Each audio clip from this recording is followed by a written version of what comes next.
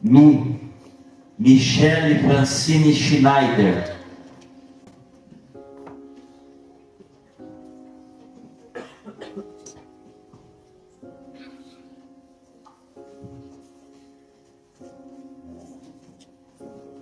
Vamos nos unir em prece. Por favor.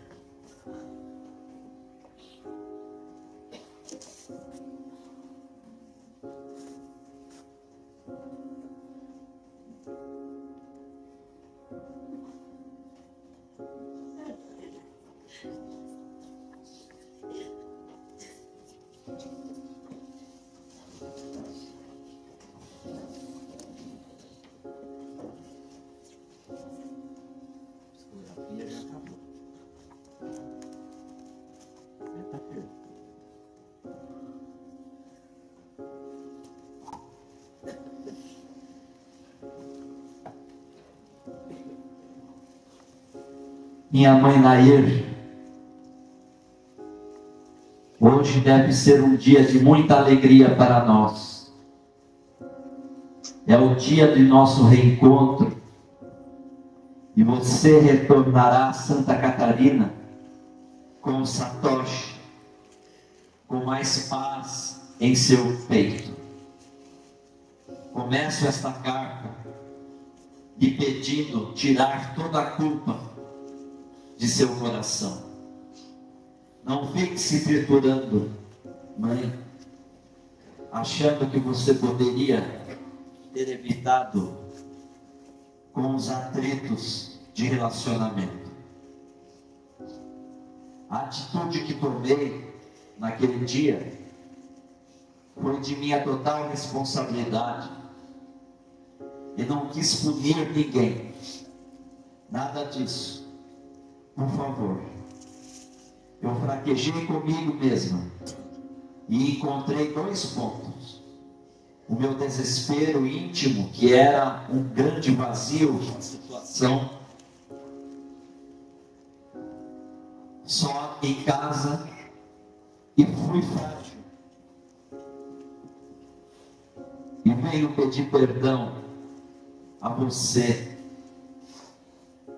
ter tirado a própria vida, sem conseguir, porque ninguém poderá fugir de si, onde foi, onde for, nos encontraremos com a gente, e foi isso. Encontrei comigo aqui e ponto. Paramos aqui neste item. Sei que a minha irmã Heloísa me encontrou naquela situação e peço a ela perdão pela imagem que até hoje ela se vê deprimida. Me perdoe, por favor, mas tirem a culpa de vocês. O TED é uma gracinha Quantas vezes ele me viu em casa? Hoje está com impedimento, mas me sente em casa. Não fique mais assim.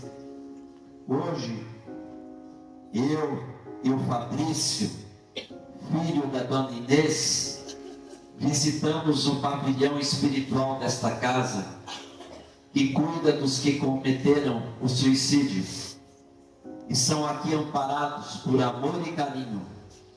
E deparei com uma, um quadro maravilhoso, suspenso na parede do pavilhão, de uma querida senhora, feito luz e ternura. A imagem me explicaram é de um espírito de nome Joana de Ângeles, que é orientadora deste trabalho como também doutor Bezerra de Menezes. Apesar da saudade, mãe, minha rainha, estou fortalecida na fé e na esperança. Abraço, mãe, a Heloísa, e não perdi a mania. Veja só, continuo por aqui com o mesmo zelo de antes. Mi, te amo, mãe. Michele Francine Schneider.